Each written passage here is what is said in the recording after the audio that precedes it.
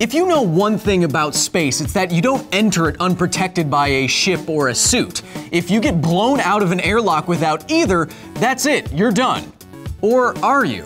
In the first Guardians of the Galaxy film, we see something that goes against pretty much every other death by space we've ever seen. So, if you were blown out of an airlock, what would really happen to your body? And do you have to be one of the Guardians of the Galaxy to survive it?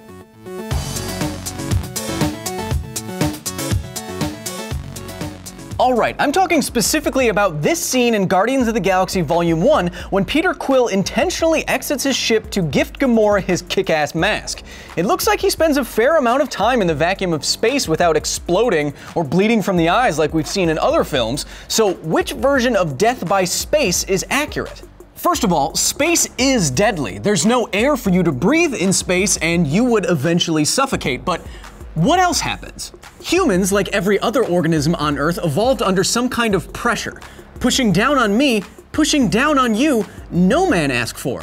For us primates, that pressure has always been about 100,000 pascals, or around 15 pounds per square inch of pressure, and that comes from the mass of air that surrounds us. That pressure, in part, helped determine what our bodies would look like, how our blood would carry gas, and even how our lungs would be able to force air into themselves. So, if all the air was suddenly sucked away from us, like through some mysterious hole, then it, it would be. You'd be. then you'd be.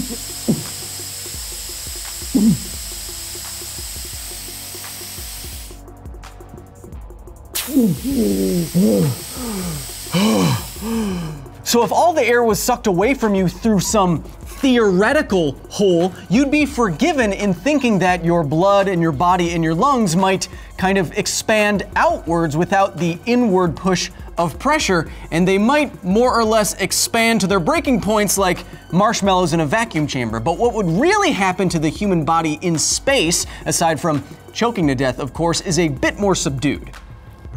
Peter Quill was lucky because space turns the body into a bloated bag, not a bomb.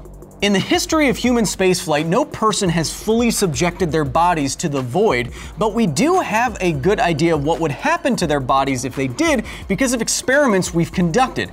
Like in 1965, when NASA put a bunch of dogs in a vacuum chamber and depressurized it, effectively throwing them out of an airlock. Here's what happened next. I'm sorry about this. All animals exposed to the low pressure for longer than five seconds tended to lose consciousness and began to swell and collapse in between 9 and 11 seconds. Within the next five seconds, unless the animals were recompressed, they began to show marked expansion, expansion due to gases and gas expulsion from the stomach and lower bowel, often leading in simultaneous, oh, simultaneous projectile vomiting, oh, defecation, oh, come on, and, and urination, oh, and the water vapor and gas expansion were of such magnitude that the animals quickly became immobilized with the neck, body, and extremities in extended position, similar in appearance to an inflated goat skin bag, it can't get worse, right? It's fine. While at the low pressure, the, the saliva, uh, the saliva-like excretions and urine became frozen and partially like a partially dehydrated. It was also noticed in several animals that after recompression to ground level, the tongue was coated in ice. After the test chamber was repressurized, the dogs that did recover, some didn't depending on how long they were exposed to vacuum, returned to functional inside 30 minutes. After 24 hours, the dogs that did survive were back to normal, which fits with another study, also in 1965, also by NASA, on chimps. But all of the chimps in this study survived even after being exposed to the vacuum of space for minutes and showed no ill effects afterwards.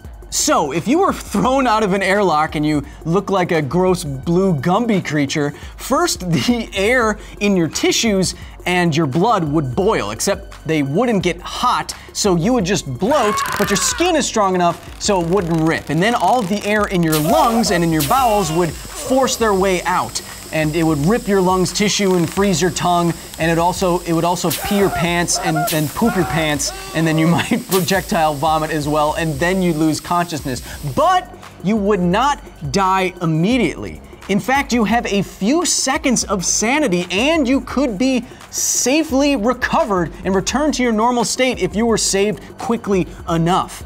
This useful consciousness time, according to all the experiments that we've done, is around 15 uncomfortable seconds, and death follows minutes thereafter. Based on the experiments that we've done, there is a finite amount of time where a bloated, gross Peter could save Gamora's life, and a finite amount of time before they both die after passing out. Did they make it? Let's look at this scene again. Since a lack of oxygen is the real reason that space kills you eventually, we want a total time without air, allowing for the passage of time with camera cuts. So it looks like Peter spends about 10 seconds putting his mask on Gamora. This is the time that he has to be usefully conscious.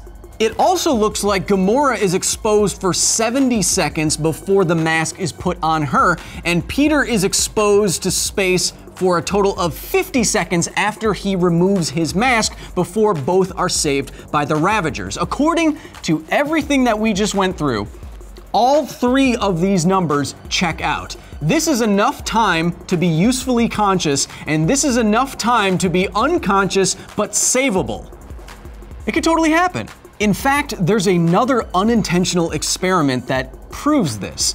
In 1965, NASA test subject Jim LeBlanc's suit accidentally depressurized inside of a full vacuum vacuum chamber.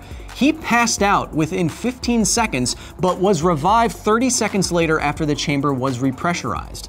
His eyes didn't pop out of his head, he didn't explode, his body didn't freeze solid, but he did say that the last memory he had before he passed out was the saliva on his tongue bubbling away. If Jim could survive this kind of exposure in this time frame, Star-Lord 2 could survive his contact with the cosmos. So, how long could Star Lord or you survive in space unprotected? Well, based on all the experiments we've done and the accidents that we've had, you could be conscious for about 15 seconds before you passed out and then have minutes to live, in which time you could be saved. What I'm trying to say is that that scene in Guardians of the Galaxy Volume 1 is more or less scientifically accurate, right down to the frost on Peter's face from his instantaneously evaporated sweat. Although, before the Ravagers beamed them aboard, they, they might want to change both of their pants. Because science.